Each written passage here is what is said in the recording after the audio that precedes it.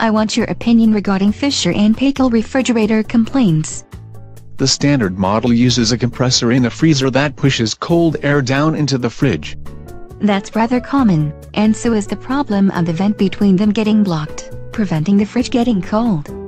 A more common complaint with Fisher and Paykel refrigerators is the fan in the freezer that pushes their air down freezing up. That means the fridge does not get cold. And your freezer turns into a reenactment of the movie Frozen. What other complaints have you heard about Fisher and Paykel refrigerators? The compressors tend to have problems starting at random. That's probably the starter relay or starting capacitor. I do not know what the unit uses because I don't actually have one. The fridges are attractive because they are cheaper than their peers, but like a printer's ink, maintenance is the ongoing source of revenue for them. You could say that of the little plastic pieces that break off in some of the rivals. They are loud, and that gets worse when the compressor is first starting. My furnace can get so loud when it starts up that I wake up.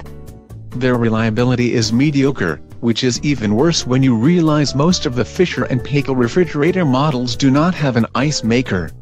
I do not get that remark. When you put an ice maker in any fridge, Consumer Report says the reliability goes down. So if you have average reliability with Fisher and Paykel and no ice maker, it is actually below average.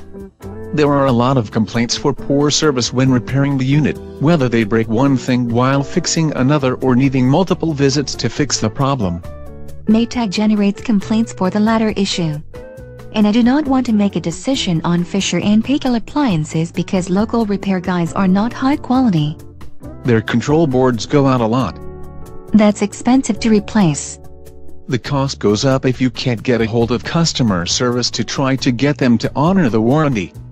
Then again, they make it hard to find the parts online as well. I can understand that the manufacturer does not want you buying replacement compressors and control boards online. I'm talking about consumables like water filters that should be easily replaced without going through an expensive repair tech. Okay, that's a valid complaint. When it all adds up, you cannot afford a Fisher & Paykel refrigerator over the long term.